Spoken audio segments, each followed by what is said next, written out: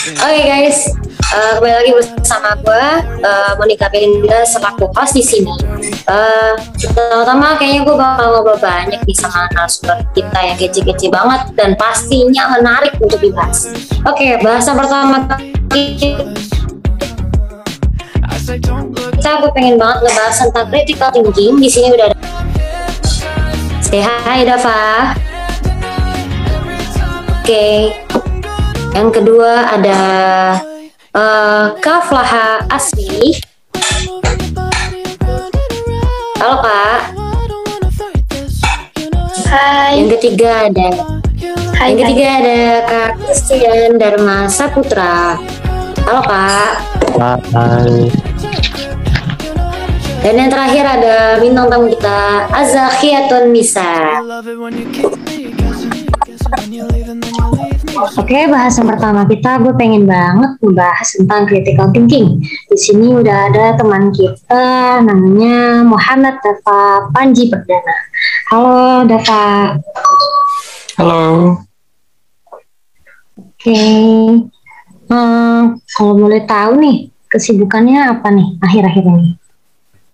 Uh, belakangan ini lagi sibuk kuliah, terus organisasi sama ada satu event sih baru itu sih paling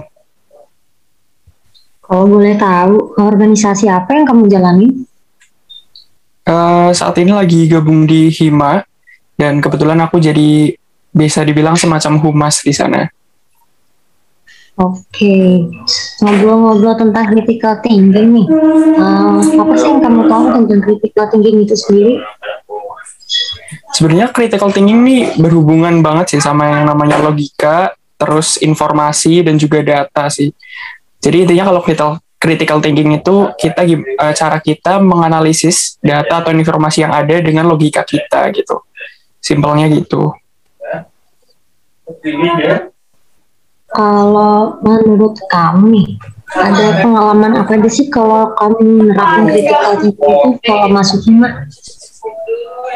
Kalau di Hima lumayan banyak sih, karena kita juga lumayan banyak brainstorming dan kebetulan aku nge-handle hmm. salah satu acara di sana. Dan itu butuh banget yang namanya critical thinking, di mana kita nentuin tema, nentuin acara, terus uh, menentukan target pasar dan sebagainya. Itu juga perlu yang namanya critical thinking, karena semuanya perlu dianalisis. Hmm, keren, keren, keren. Kalau aku mau boleh nanya nih lebih dalam, gimana sih cara kamu ngelatih critical thinking itu sendiri?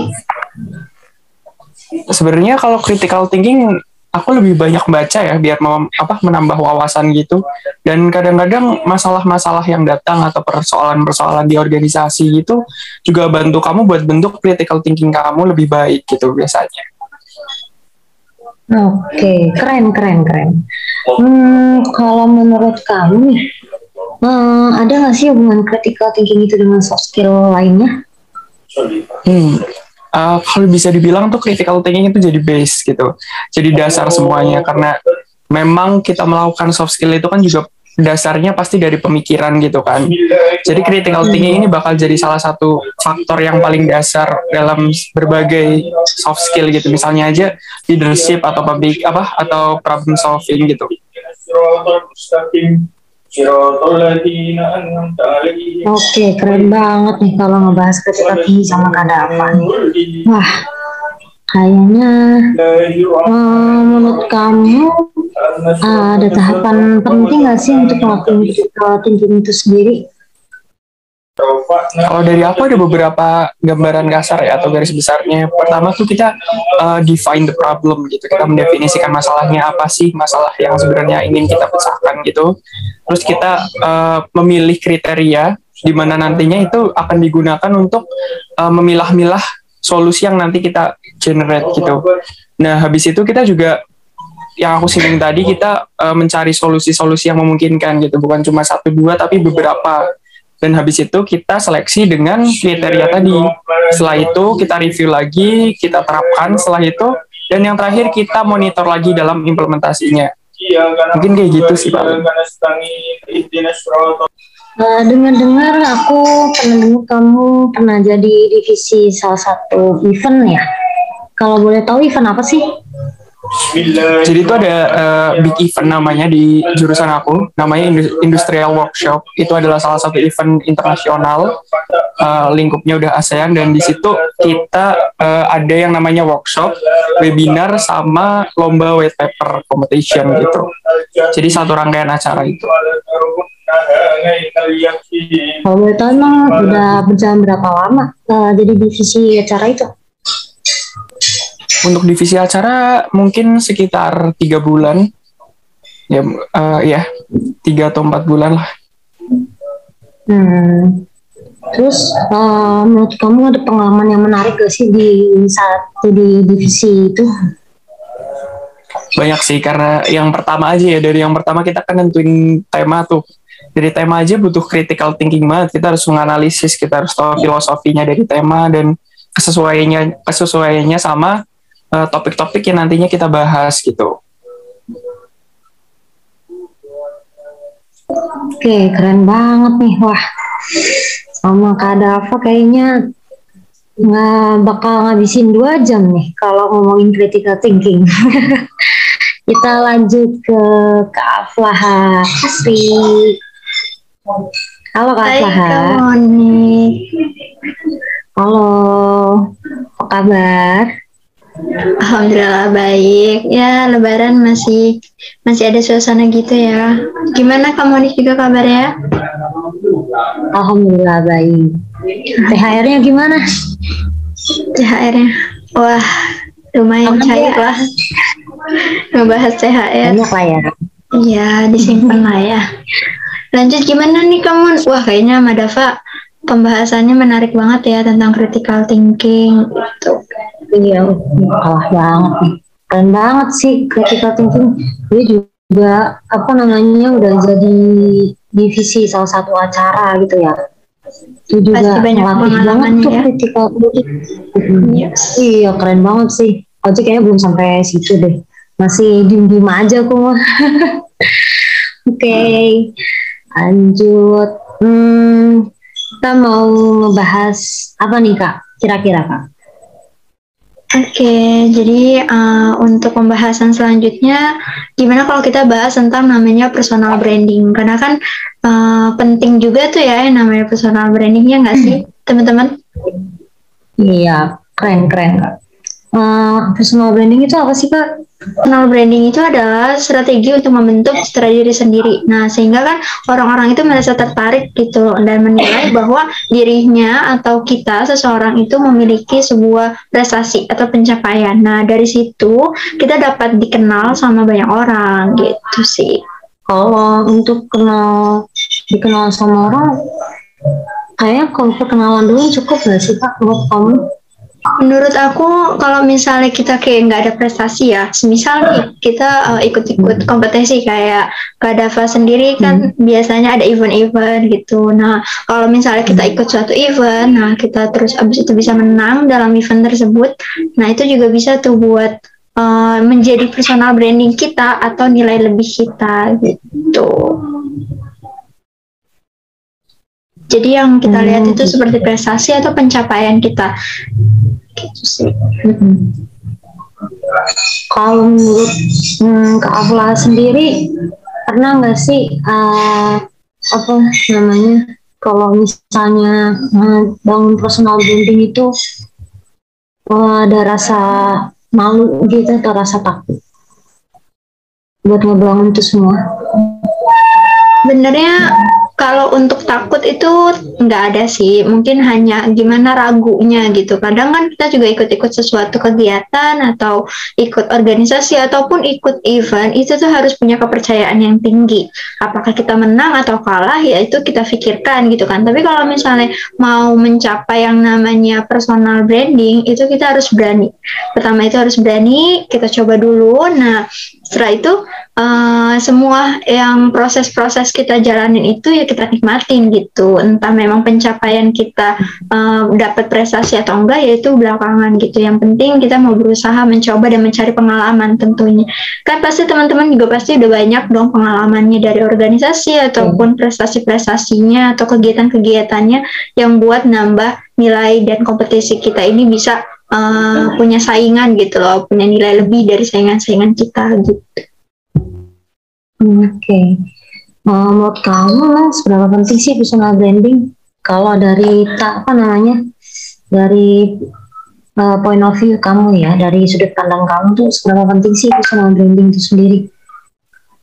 Wah, pastinya penting banget sih bagi aku. Ya, itu poin yang memang mungkin harus benar-benar kita cari lagi. Sebenarnya pentingnya apa sih personal branding? Kenapa sih personal branding itu harus ada di diri kita gitu kan? Uh, apakah setiap individu harus uh, punya personal branding dalam dirinya? Dan menurut aku sendiri penting banget sih yang namanya personal branding itu untuk dibangun. Karena yang pertama, uh, dengan adanya personal branding kita bisa nambah kepercayaan diri kita dari yang tidak berani untuk berbicara depan umum atau tidak berani untuk mencoba suatu hal kegiatan ataupun event kita jadi berani gitu. Terus yang kedua membangun kredibilitas. Maksudnya uh, kita bisa membangun branding kita agar uh, kepercayaan diri kita ini bisa bertambah gitu. Jadi lebih uh, nilai kita itu bertambah gitu. Terus yang ketiga itu dapat memperluas koneksi. Semisal kita ikut event-event gitu kan. Entah menang entah kalah tapi kita bisa mengenal beberapa orang dari uh, orang-orang yang kita temuin gitu kan. Terus juga dapat hmm. menunjukkan bahwa kita ini siapa ya mungkin uh, menurut mereka yang apa ya ya tidak mengikuti kegiatan seperti kita atau lomba-lomba gitu kan mungkin mereka merasa ah saya tidak punya kelebihan tapi saat kita mengikuti kegiatan atau event itu buat nambah kita uh, jadi percaya diri nggak sih? Gitu. Jadi kayak uh, meskipun kita nggak punya apa-apa tapi kalau misalnya kita punya pengalaman atau skill kredibilitas kita uh, bisa dibangun sama diri kita sendiri kita percaya bahwa kita bakal menang atau itu kalah yaitu bisa jadi pengalaman kita aja. Gitu sih. Keren banget kak. Keren keren keren. Nah, ngomong-ngomong hmm, tadi kayaknya ngebahas tentang sama organisasi deh Kakak pernah ikut organisasi apa sih kalau di kampus? Oke, okay. ngomong-ngomong organisasi kayaknya udah semester akhir banget ya aku ya. Nah, tapi dari untuk organisasi aku udah mulai dari semester awal, dari semester 1. Itu ikut BMF KIP. Nah, karena memang BEM itu biasa kita, wah BEM itu organisasi paling ngetop gitu biasanya nggak sih? Entah memang BEM fakultas ataupun BEM universitas itu kayak uh, nilai kita tuh punya personal branding. Ah, anak BEM tuh ya gitu. Terus kayak kita juga ikut-ikut. Acara suatu kegiatan, wah uh, jadi divisi apa loh hmm. gitu kan. Jadi kayak nilai ya divisi yang membuat kita itu jadi lebih percaya diri, lebih banyak dikenal sama orang, nggak takut untuk berbicara depan umum. Hmm. Meskipun kita itu sebenarnya uh, punya sisi introvert emang semua orang nggak mungkin semua bisa bicara depan umum mungkin karena memang sisi introvert dia. Tapi kalau hmm. misal kita asal dengan skill kegiatan dari organisasi ataupun event yang lainnya jadi uh, perlahan-lahan mungkin agak hilang gitu. Ya meskipun tidak sepenuhnya hmm. cuman kan dengan adanya pengalaman atau organisasi jadi nambah nggak sih skill kita? Gitu sih. Benar banget sih. Iya benar banget sih keren keren kelas saing aku kayaknya deh. Ini aku juga harus belajar banyak deh sama kak Faha keren sama belajar dong pasti. Terus gimana lagi nih? Hmm. come on. Kalau hmm, tadi kan kita udah ngomongin tentang organisasi dalam kampus ya. Kalau di luar kampus mau ikut kegiatan apa kalau di luar kampus sih dari pengalaman yang aku ikutin itu kayak uh, program MPKM sih kak. Jadi kemarin itu kan karena memang COVID, kita tahu lah COVID itu sebuah penghalang hmm. mungkin untuk kita uh, apa ya kegiatan di luar itu kayak terhenti karena kampus aja daring gitu kan. Karena mungkin kita juga punya sisi ah, males nih karena rebahan mulu gitu. Tapi dengan adanya kegiatan yang dari MBKM uh, kampus mengajar ataupun program-program pertukaran mahasiswa bisa membuat kita jadi nambah skill. Kalau dari aku sendiri sih kemarin aku ikut kegiatan yang namanya kampus mengajar. Nah, kampus mengajar itu kan buat nambah pengalaman apa skill juga itu bisa membuat kita termotivasi biar jangan di rumah boring aja atau ikut kegiatan yang lain yang bermanfaat untuk orang banyak. Terus sama aku juga ikut pejuang muda di mana uh, seluruh pemuda-pemuda mahasiswa kita dapat uh, memberikan kontribusi yang besar untuk Kementerian Sosial gitu. Gimana sih untuk mengatasi masalah-masalah yang ada di sosial khususnya di sekitar kita? Itu sih kak. Oh, jadi sifatnya kayak volunteer gitu nggak sih yang kedua tadi? Ya, bisa seperti itu dibilang. Hmm, udah berapa lama kira-kira? Kalau untuk kegiatan-kegiatannya itu sekitar mungkin satu program itu hampir tiga bulanan sih kak. Hmm, tahu kayak volunteer-volunteer kayak gitu tahunya dari mana sih kak? Kayaknya aku kayak butuh banget deh. Nah Harus itu banget gitu.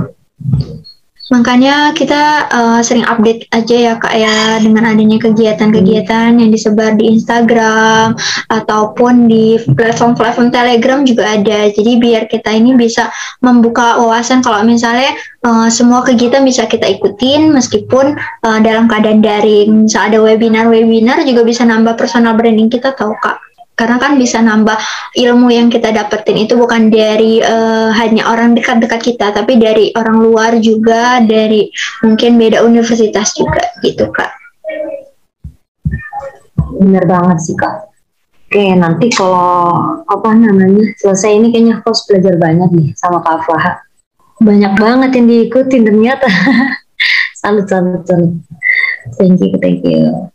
Oke kita ngomong-ngomongin bahasa asing nih. Eh, kita undang Kak Christian Dharma. Halo Kak Kris. Halo. Hai kak Kris. Halo semuanya. Kabar? Ya, so far so good. Baik-baik.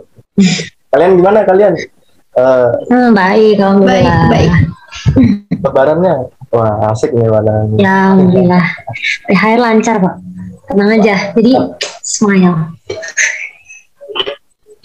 Tetap happy aja udah. Oke, Kak Kris, kita ngobrol-ngobrol tentang bahasa asing yuk. Boleh, boleh.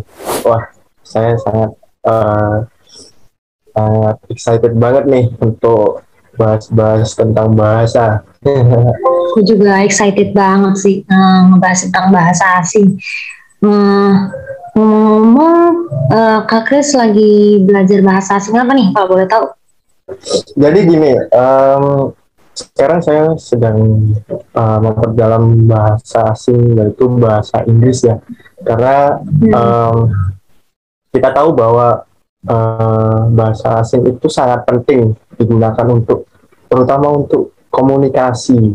Nah, jadi eh, kenapa saya memilih bahasa Inggris? Karena eh, menurut saya eh, rata-rata semua negara itu meskipun punya eh, bahasa ibunya sendiri, tapi Hmm. eh, kebanyakan tuh lebih apa ya, lebih mementingkan yang namanya bahasa Inggris gitu loh. Meskipun eh, sebut saja di Itali, nah misalnya kita nggak bisa bahasa Itali, nah kita Hmm. bisa pakai yang namanya bahasa Inggris. Jadi bahasa Inggris itu sifatnya universal gitu loh. Nah itu kalau dari eh, dari segi saya ya, jadi gitu untuk bahasa asing. Oke. Kalau belajar bahasa Inggris, eh Kak Kris mandiri atau atau mandiri atau tidak? Les atau otodidak nih? Sama aja kan. Les atau otodidak? Oke, les atau ot- otodidak ya. Em, jadi eh, sebelum saya memilih jurusan bahasa Inggris di kuliah saya, Hmm. eh, saya pernah kursus nih, terutama di eh, saya kan area Jawa Timur ya. Nah, kalian Iya. mungkin nggak asing dengan yang namanya eh, kampung Inggris. Nah, Nah, iya iya tahu tahu. Nah, nah, tahu banget itu udah terkenal banget itu. kan sudah dikenal oleh Kenal banget ya. masyarakat ya hampir dari Sabang sampai Merauke eh, rata-rata Hmm. kan tahu apa apa mempunyai keinginan untuk belajar bahasa Inggris di situ. Nah jadi ya saya dulu pernah kursus di situ di kampung Inggris. Kira-kira berapa lama kak belajar di kampung Inggris? Eh, kalau untuk belajar bahasa Inggris di kampung Inggris itu tahun lalu ya itu udah tahun lalu bulan eh, setelah saya lulus nih dari SMK nah itu saya ambil jurusan bahasa Inggris terus saya ingin memperdalam bahasa Inggris saya lagi nah saya ambil kursus kurang lebih dari bulan akhir Juni ya sampai pertengahan Agustus nah Hmm. Itu saya pulang. Nah, saya punya teman juga nih, apa? Dia baru pulang bulan apa ya? Soalnya uh, waktu awal puasa kemarin lah, bulan Hmm. awal April ya. Nah, teman saya itu teman jualan saya juga uh, dari Ternate ya, jauh-jauh Hmm. dari Ternate dia apa antusias untuk belajar bahasa asing itu sangat tinggi sekali. Jadi di Pare itu dari bulan akhir Juni sampai awal April dia baru pulang ke Ternate. Wow itu sangat salut sekali. Saya Kak Kris, aku boleh nanya nggak nih? Berarti kalau misalnya kampus Inggris kan bisa nggak sih beberapa orang yang ikut itu dari memang kita taunya itu dari online atau kayak gimana gitu bisa ikut-ikutan kalau Kak Kris sendiri? Em, kalau aku sih cari informasinya ya karena sekarang ini era era serba digital jadi ya eh, aku apa cari-cari informasi di Instagram terutama. Tapi eh, saya menyarankan untuk jika ada eh, waktu luang eh, kalian bisa datang dulu nih datang untuk survei lembaga. Nah kan di kampung Inggris itu kan banyak sekali lembaga khususan bahasa asing. Nggak hanya bahasa Inggris loh. Saya dulu eh, akhir tahun, nah awal Januari sampai akhir Januari saya ke kampung Inggris lagi, tapi nggak belajar bahasa Inggris, tapi saya belajar bahasa Korea. Jadi saya sarankan untuk teman-teman datang langsung, jadi tanya-tanya ke eh, murid siswa yang pernah kursus di situ, gimana testimoninya. Kan sekarang tuh banyak ya apa namanya eh, iklan yang nggak sesuai.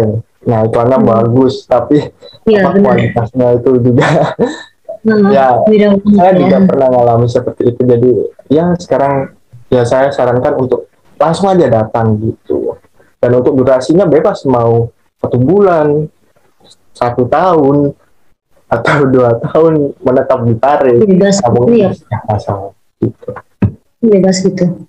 Keren ya kamu ya pengalaman untuk Iya, bahasa asing.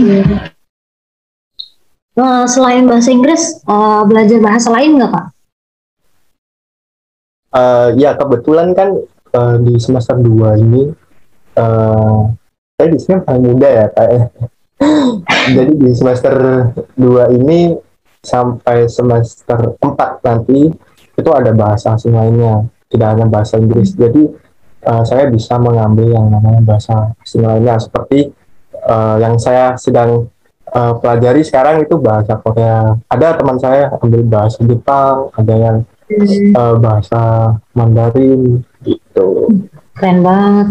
Saya juga tertarik sih sama bahasa Jepang tuh. Nanti eh, saya bisa hubungin Kak Kris aja ya buat belajar barengnya. Ya mungkin nanti mau lanjut S2 ke Jepang nih. Mantap. Aku penasaran juga nih Kamon, kalau misalnya belajar bahasa asing berarti kalau lagi belajar mata kuliah itu tuh emang eh, dosen atau kitanya juga memang harus full benar-benar bahasa asing tersebut atau separuh-separuh gitu Pak? Bisa bahasa Indonesia? untuk semester satu kemarin itu masih di, dimaklumi ya kalau kita uh, 50-50 gitu Indonesia terus satunya English gitu. Nah tapi di semester 2 sampai seterusnya ini kita diwajibkan uh, benar-benar full gitu loh biar kita terbiasa juga. Nah bahasa itu kan uh, kita bisa berbahasa itu karena terbiasa. Jadi kita uh, diwajibkan Hmm. untuk terbiasa tentunya gitu. Jadi sekarang uh, kecuali bahasa Korea ya, uh, kan saya masih tahap awal juga ya masih lah um, uh, pemula jadi masih ada uh, campuran bahasa Indonesia yang dikit gitu. Itu sih. Keren banget sih Kak. Wah, harus ketularan nih sama Kak Kris nih. Mantap lah ya, bisa belajar-belajar gitu kita Kamon. Iya, ih, kapan-kapan lah ya kita ketemuan lah ya. Kita belajar bareng. Iya, eh, teman-teman mungkin bisa belajar secara otodidak, otodidak ya, karena eh, bahasa itu kan nggak di apa ya diukur oleh durasi berapa lama gitu kan. Belajar bahasa itu kan seumur hidup. Jadi eh, teman-teman nih mungkin yang mau lanjut S2 di luar negeri gitu, nah mungkin bisa dipersiapkan skill bahasanya terutama untuk bahasa Inggris gitu ya. Karena uh, dari dari kecil sih aku lihat um, banyak apa ya namanya nggak hanya di era globalisasi aja tapi banyak tenaga kerja itu dari luar gitu dari asing. Nah kita juga harus mempersiapkan skill bahasa Inggris kita. Nah kalau uh, teman-teman juga bisa belajar secara otodidak nggak nggak harus kursus kok. Nah yang penting uh, saya ada tips nih. Ada beberapa tips untuk teman-teman. Aja kak. Nah, uh, untuk tips yang pertama uh, teman-teman ini harus uh, lihat dulu. Nah lihat itu penting karena uh, belajar sesuatu tanpa niat tuh uh, bohong gitu. Jadi mm-hmm. Kita kuatkan niat dulu untuk mau belajar tuh mau belajar bahasa Inggris nah yang kedua uh, teman-teman bisa tuh cari yang namanya apa support system nah sama mm-hmm. teman-teman yang sama-sama belajar bahasa asing juga jadi kayak mm-hmm. komunitas-komunitas gitu atau organisasi-organisasi uh, yang hmm apa ya kegiatannya itu tentang bahasa gitu. Nah, hmm. Saat teman-teman uh, termotivasi nih, ada semangat niat belajar gitu. Nah, teman-teman bisa tuh uh, untuk belajar. Pertama, simpel aja dulu listening, mendengar. Ini uh, pasti teman-teman sering nih nonton nonton film atau dengerin musik atau dengerin hmm. podcast. Nah, kita sendiri juga hmm. lagi bikin podcast kan ini. Nah, hmm. mungkin teman-teman bisa belajar belajar dari uh, listening dulu, dasar-dasarnya dulu. Nah, habis itu dicatat tuh kosakata. Bisa lihat dari film atau dengerin musik atau dicatat tuh apa dihafal apa lirik musik. Nah, itu itu untuk yang pertama. Nah, yang untuk kedua, teman-teman jangan lupa untuk uh, selalu menambah kosakata karena bahasa itu kan yang penting kan kosakatanya. Nah, kita kan mempelajari bahasa lain ya. Nah, jadi kita hmm. juga harus tahu kosakata kosakata sebanyak sebanyak mungkin. Jadi uh, agar kita bisa speaking fluent itu kita harus memperbanyak kosakata kita. Nah, jadi teman-teman setelah ada kosakata banyak, modal kosakata banyak, teman-teman bisa tuh yang namanya praktis dengan kalau nggak ada partner nih untuk praktis gimana? Bisa tuh ada hadapan sama uh, kaca sendiri. Nah itu bisa hmm. ngomong-ngomong yeah. sendiri gitu dalam bahasa Inggris gitu. Jadi itu uh, buat mengatasi jika teman-teman juga eh, nggak uh, ada partner ya. Nah nah setelah teman-teman juga praktis more jangan lupa nih untuk be confident yaitu percaya diri. Mungkin percaya diri ini tidak hanya di bahasa Inggris saja ya, bahasa asing saja, tapi di dalam public speaking juga teman-teman juga yang uh, perlu menekankan yang namanya be confident yaitu apa? Kepercayaan diri. Baru nanti ke grammar. Gitu. Jadi teman-teman bisa bisa tuh belajar uh, bahasa bahasa asing lah, entah itu bahasa Inggris atau bahasa Korea atau Mandarin semua konsepnya sama kok seperti itu kalau dari aku gitu sih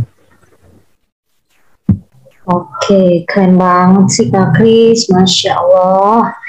Ilmunya sangat uh, sangat bermanfaat banget ya. buat kamu.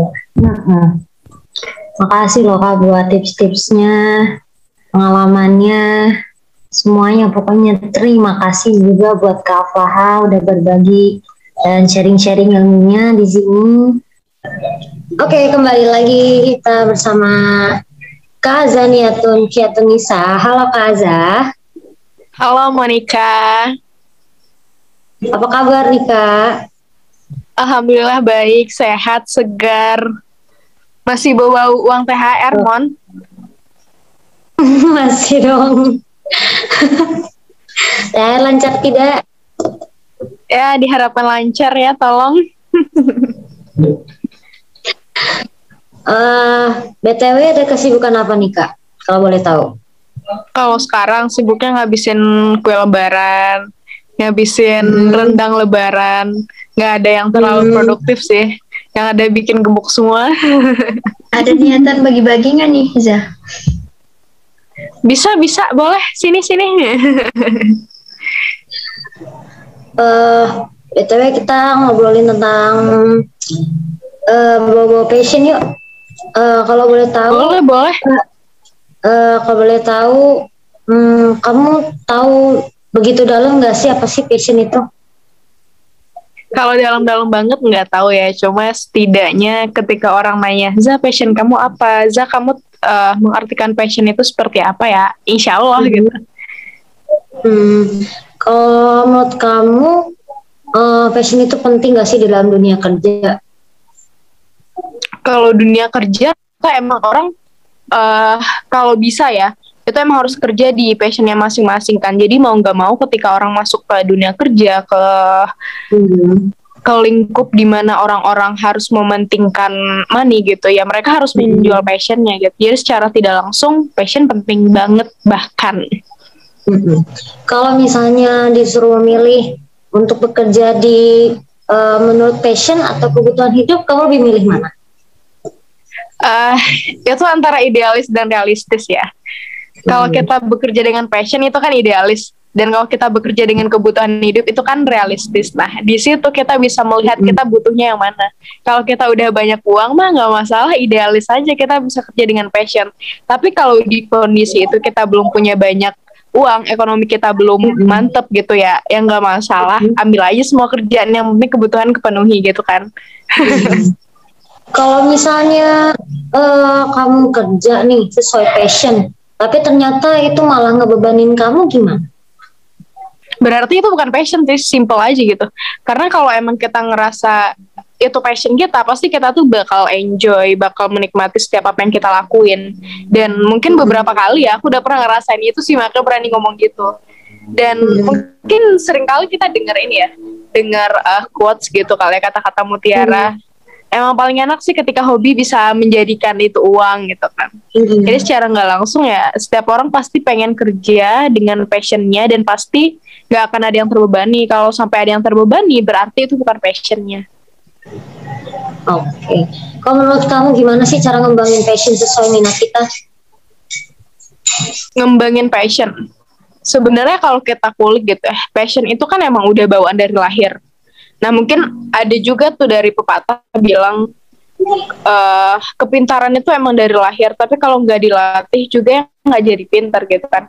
Nah pada akhirnya passion pun begitu. Kita tuh punya passion masing-masing. Mungkin ada yang terlahir paling jago IT, ada yang terlahir dengan kemampuan eh, berpikir yang memang tingkat tinggi, memang kritisnya tuh yang paling banget lah gitu. Tapi kalau ketika mereka tidak dihadapkan dan tidak dilatih untuk menggunakan passion mereka, mereka juga tuh nggak akan bisa gitu. Jadi pada akhirnya itu bisa karena terbiasa. Nah, kalau emang mau kita memiliki passion dan kita ingin mengembangkan passion, maka kita harus bisa membiasakan passion kita. Nah, misalnya, eh, aku aku pribadi ya, bisa dibilang kalau sekarang aku punya passion mungkin di public speaking gitu. Nah, mungkin banyak teman-teman yang nanya, enak ya jadi azah, ngomongnya lancar banget, apa-apa tuh enak gitu. Nah, karena aku udah biasa ngomong dari kecil gitu. Aku pertama kali public speaking yang emang bener-bener dengan kesadaran gitu, itu waktu TK. Jadi waktu TK umur lima tahun, lima tahun aku TK, itu ada acara perpisahan dan di saat itu eh aku diminta untuk menjadi siswa yang speech gitu. Jadi aku mewakili teman-temanku untuk ngomong kata-kata perpisahan. Itulah pertama kali aku mulai ngobrol depan umum, mulai ngomong. Dan pada akhirnya di SD jadi aku latih lagi, di SMP terus aku kembangkan, di SMA aku kembangkan lagi. Sampai akhirnya SMA beberapa kali jadi narasumber ini itu ya pada akhirnya emang kalau mau mengembangkan passion itu ya latihan gitu. Walaupun mungkin dengan kalau kita lihat boleh ada orang emang jago banget eh, IT gitu kan. Tapi kalau dia nggak latih terus ya percuma nggak akan bisa gitu. Jadi latihan. Hmm gitu. Oke.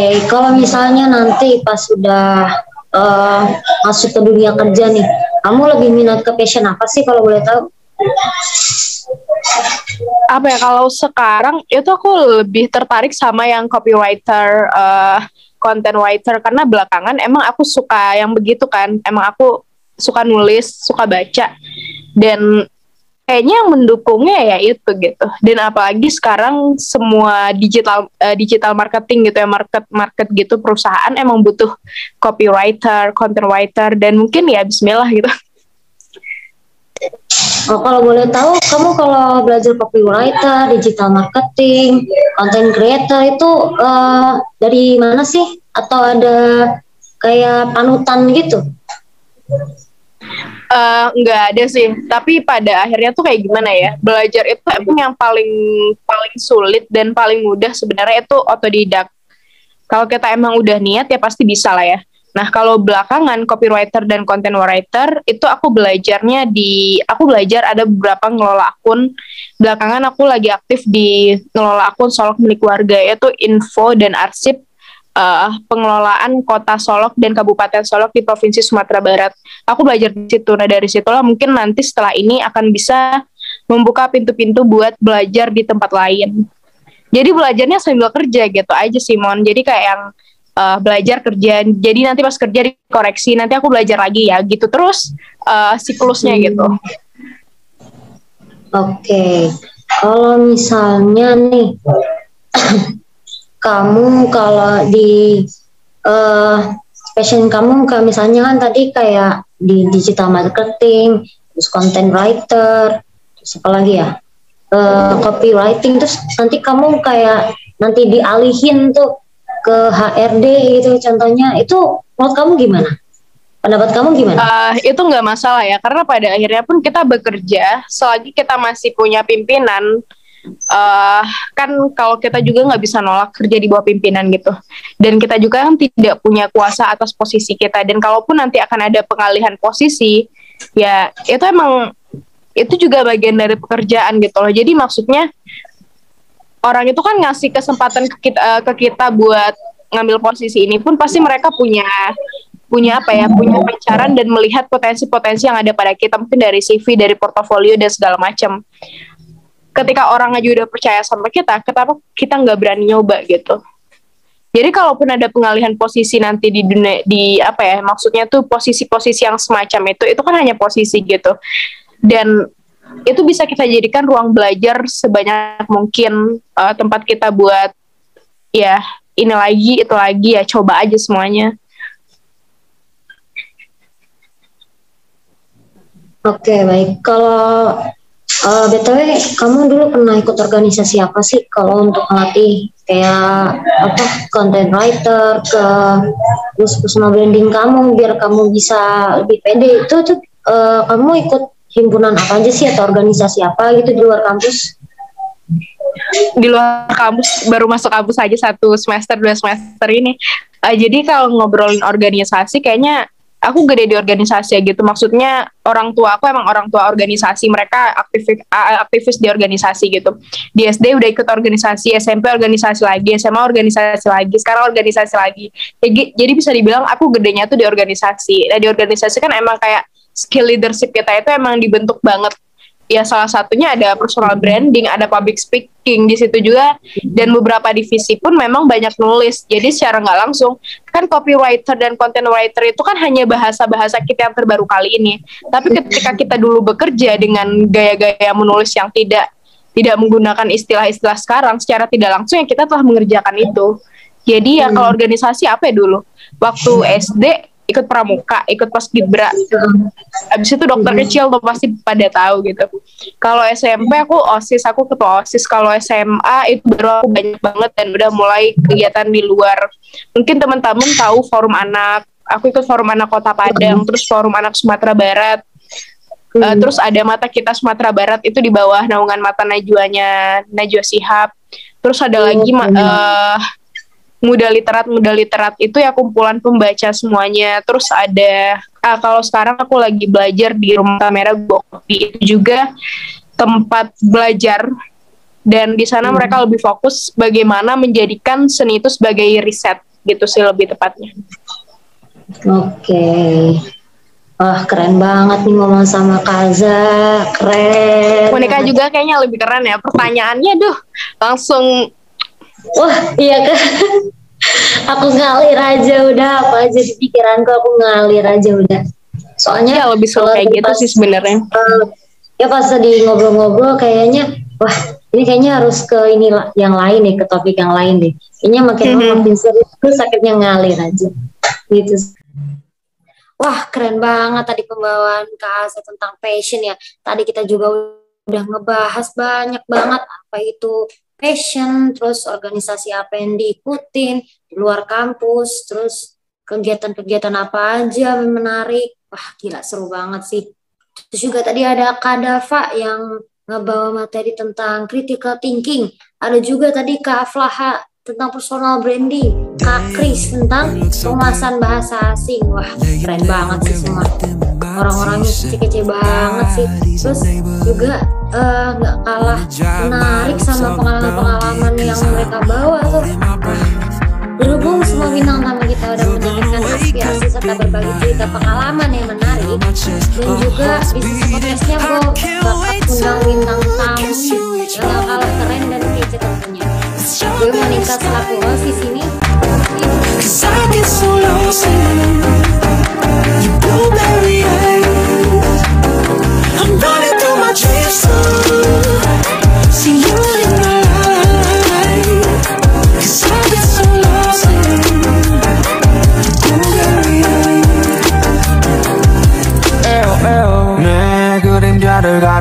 줄깃빛 어둡기만 한 내 삶을 뒤집어 놓은 너나 어쩌면 아무것도 아닐지 너를 만나기 전엔 그저 보잘것없던 나. 에이 보잘것없던 나. 음, 그저 내 삶은 다. 하루를 대충 때우기에 급급했었잖아 yeah. 우리의 날 우리의 밤 그래 우리의 삶. U-A-R-E-M-Y like 서로 채팅하는 법 서로의 다. Each morning. Strawberry skies. Cause I get so I'm